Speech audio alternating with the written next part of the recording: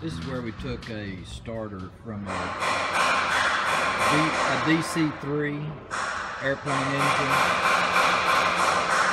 And what we do, we take the crank, the hand crank off the front of the truck, and we use that to uh, start the engine. Uh, this starter has a gear reduction in it, planetary gear set. We built a framework to hold the starter and uh, the front two long pins, those are the guide pins that help you align it to the hand crank on the front of the bumper there. Uh, we built a uh, drive that fit the, uh, the handle drive that sticks through the bumper. And uh, we rewired the starter to where it was 24 volts. This is the battery pack that we used. It was a combination battery pack of 12 and 24 volt and uh, it was real handy in allowing us to have a small battery pack because uh, this truck does not have a charging system or, or battery or anything.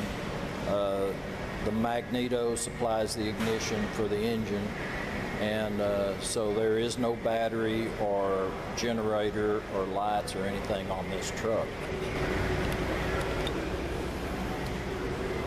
What I'm going to do is I'm going to show you the speed that this uh, turns. Like I say, we've got it hooked to 24 volts.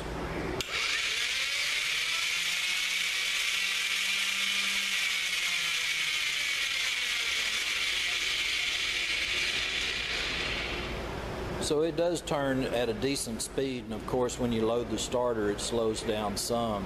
But anyway, we were pretty happy to have that when we first got it because uh, it just wasn't cranking real easy. So with the aid of this starter right here, we were able to uh, get the truck running and, and get the uh, mag time properly and all that. So now it starts really easy.